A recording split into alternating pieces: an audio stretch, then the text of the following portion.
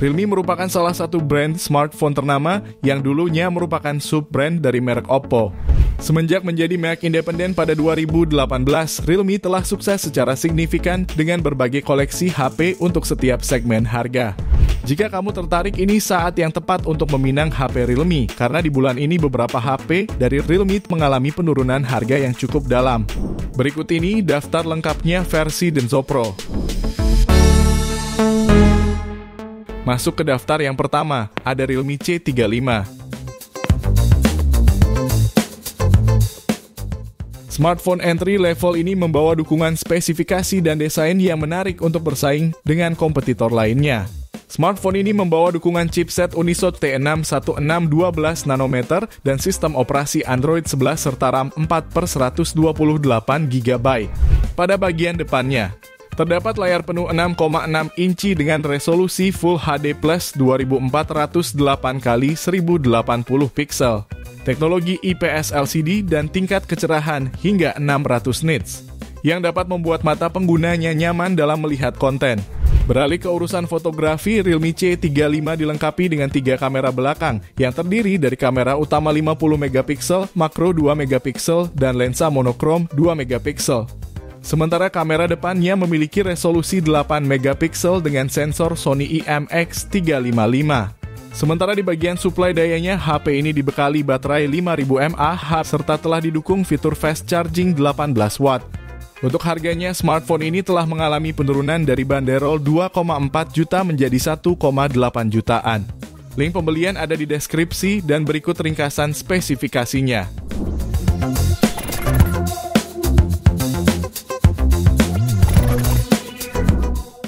Lanjut HP yang kedua ada Realme 10.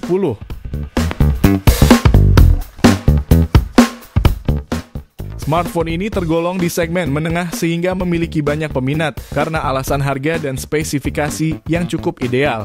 Dibekali dengan panel display Super AMOLED berukuran 6,4 inci dengan resolusi 1080 x 1400 pixel Full HD dan kerapatan pixel mencapai 411 ppi. Layar Realme 10 mampu bekerja pada refresh rate hingga 90 Hz. Selain itu, pada mesin pacunya HP ini mengusung chipset menengah berbasis MediaTek Helio G99. Chipset ini dibangun dengan konstruksi fabrikasi 6 nanometer yang mampu memberikan performa terbaik dengan konsumsi daya rendah. Aktivitas fotografi pengguna akan difasilitasi dengan konfigurasi dua kamera beresolusi 50 megapiksel dan 2 megapiksel yang dilengkapi dengan lensa wide dan depth serta kamera depan 16 megapiksel. Tidak perlu khawatir mengenai daya tahan baterai karena smartphone ini memiliki dukungan baterai tanam berkapasitas 5000 mAh. Untuk harga, di varian RAM 8 per 128 GB harganya turun dari banderol 3,2 juta menjadi 2,7 jutaan. Sementara di varian 8 per 256 GB turun dari 3,6 juta menjadi 3 jutaan. Link pembelian ada di deskripsi dan berikut ringkasan spesifikasinya.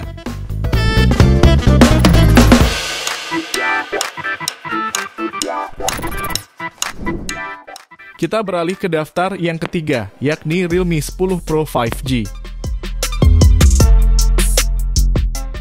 Smartphone ini sudah menggunakan chipset Qualcomm Snapdragon 695 5G yang dilengkapi RAM 8GB serta penyimpanan internal 128 atau 256 GB. Di bagian layarnya, smartphone yang satu ini sudah mengusung ukuran layar besar 6,72 inci yang memiliki resolusi Full HD Plus serta mendukung refresh rate 120 Hz sehingga pengguna akan bisa berselancar dengan mudah dan mulus. Kelebihan lainnya terletak pada sektor fotografi yang mana kamera utamanya mempunyai resolusi 108 megapiksel yang juga dilengkapi kamera depth 2 megapiksel. HP ini pun mengalami penurunan harga sekitar 600 ribu dari harga awal 4,6 juta. Kini dibanderol 4 jutaan saja untuk RAM 8 per 128 GB-nya. Sementara untuk varian 8 per 256 GB-nya dibanderol 4,4 jutaan setelah turun dari harga awalnya yakni 5 juta.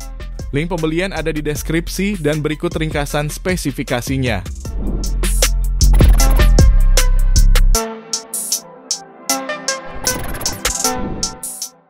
Kemudian yang keempat ada Realme GT Neo 3. Smartphone ini menggunakan chipset MediaTek Dimensity 8100 fabrikasi 5 nanometer yang biasa digunakan smartphone kelas high-end. Beralih ke bagian layarnya, smartphone ini sudah menggunakan panel AMOLED pada layar berukuran 6,7 inci yang memiliki resolusi Full HD Plus 1080 x 2412 pixel. Selain itu, layarnya mengusung aspek rasio 20 banding 9 serta refresh rate 120 Hz. Menariknya lagi, baterai berkapasitas 5000 mAh miliknya sudah didukung dengan fitur Super Dark Charge 80 Watt. Fitur ini memungkinkan HP hanya membutuhkan 12 menit untuk mengisi full daya. Soal harganya, smartphone ini mengalami penurunan harga uang cukup dalam dari banderol 7 juta kini menjadi 5,4 jutaan saja. Link pembelian ada di deskripsi dan berikut ringkasan spesifikasinya.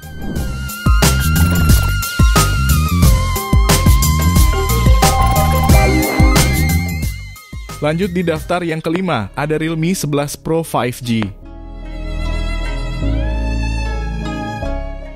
HP ini menggunakan layar lengkung dengan lebar 6,7 inci yang seolah-olah membuatnya terlihat hampir tidak memiliki bezel sehingga dapat menampilkan konten dengan area yang lebih luas.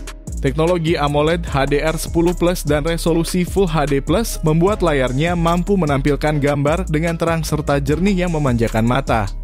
Sementara dapur pacunya dipercayakan pada chipset MediaTek Dimensity 7050 dengan fabrikasi 6 nanometer serta RAM 8 per 256 GB. Berdasarkan pengujian internal Realme, ponsel ini berhasil mendapatkan skor AnTuTu V 9 lebih dari 550 ribu poin. Tak hanya itu, HP ini juga hadir dengan dukungan dua kamera belakang yang terdiri dari kamera utama 100 megapiksel dan depth 2 megapiksel.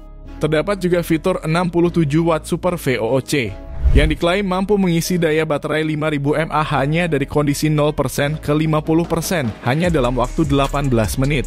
Bicara soal harga, smartphone ini mengalami penurunan dari banderol 5,6 jutaan menjadi 5 jutaan saja. Link pembelian ada di deskripsi dan berikut ringkasan spesifikasinya.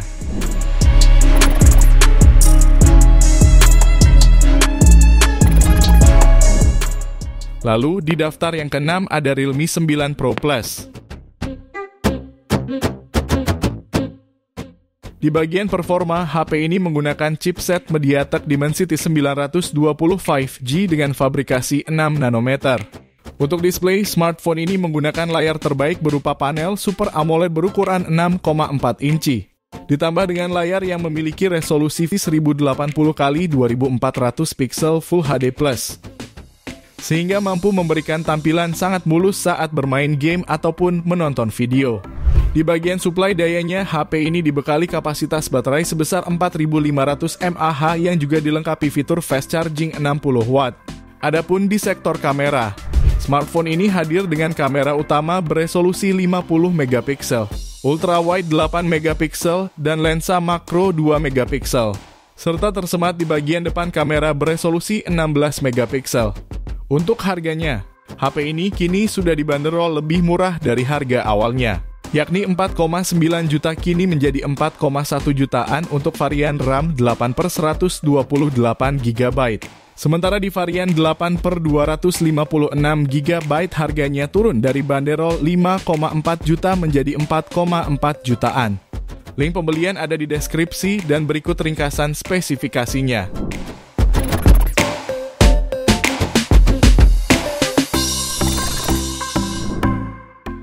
Lalu HP Realme turun harga yang terakhir ada Realme C55. Smartphone ini menjadi salah satu anggota seri C yang paling mutakhir saat ini.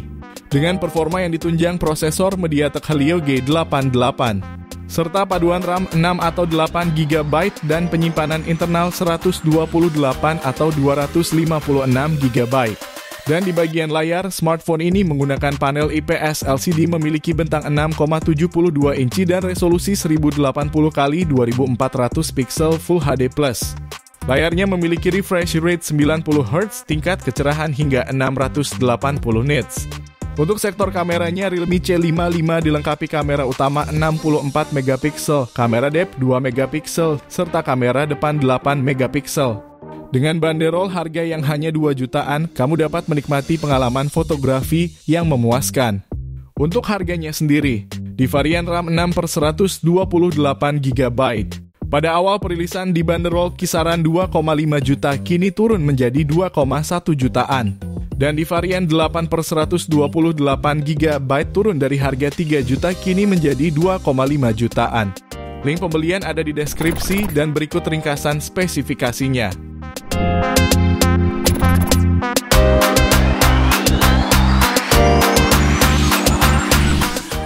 Itu dia 7 HP dari Realme yang kini turun harga signifikan versi Denso Pro. Terima kasih sudah menonton dan jangan lupa subscribe channel Denso Pro. Juga nyalakan loncengnya agar tidak ketinggalan informasi seputar smartphone, gadget, dan teknologi yang terus berkembang. Sampai jumpa di video selanjutnya.